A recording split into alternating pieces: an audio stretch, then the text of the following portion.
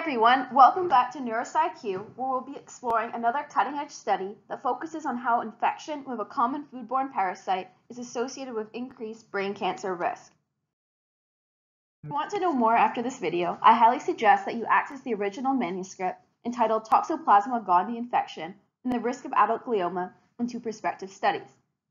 It was published in the International Journal of Cancer in January 2021 by an American team. Let's break down the study by answering four key questions. First, what are gliomas? They are the most common malignant brain tumor and form the glial tissue, which supports neurons in the central nervous system. Fortunately, this cancer is very rare, with an approximate incidence of 300,000 new cases a year globally. Sadly, gliomas are incurable and very aggressive, so there is a five-year survival rate of only 5%. However, there is lots of ongoing research to improve outcomes for this disease. So now let's talk about Toxoplasma gondii, or T. gondii for short.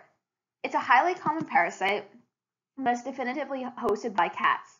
In fact, 20 to 50% of the global population is thought to have been exposed. Importantly, exposed does not mean infected. An infection is very rare.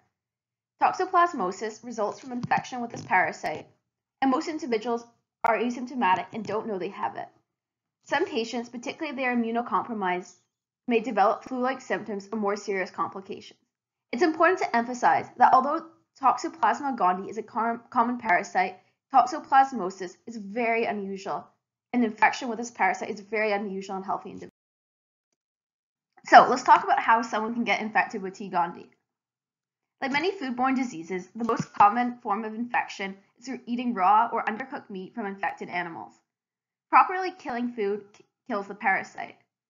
Since cats are a common host, handling cat litter that contains feces uh, from an infected kitty is another way of contracting an infection, though it is also unusual.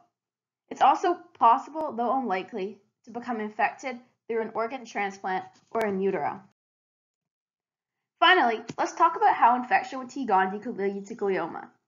It's crucial to remember here that the hypotheses are theoretical. So it's well known that T. gondii parasitism creates cysts in the brain.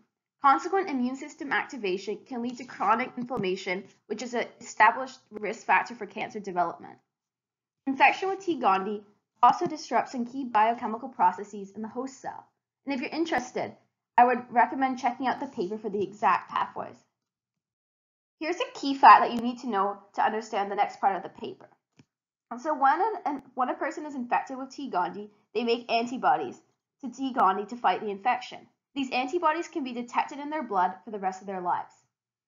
Conversely, if T. gondii antibodies are detected in a person's blood, it's very likely that they've been infected with the parasite. The investigations pooled data from two large-scale studies that collected blood from apparently healthy individuals and tracked their long-term health income, health outcomes. Out of these studies that recruited tens of thousands of people combined, 360 people developed glioma. What makes this spe study special and different from previous work is that it is prospective.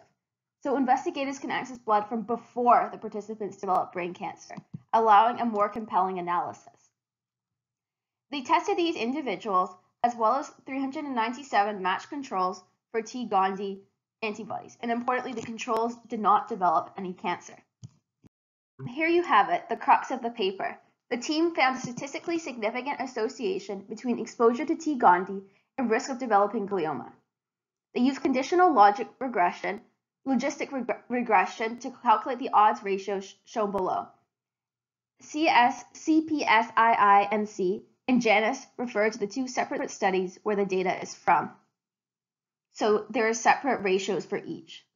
To put these numbers into context, the investigators found that people in the CPSII and C study who were infected with T. gondii had almost three times the risk of developing glioma compared to those who were not infected.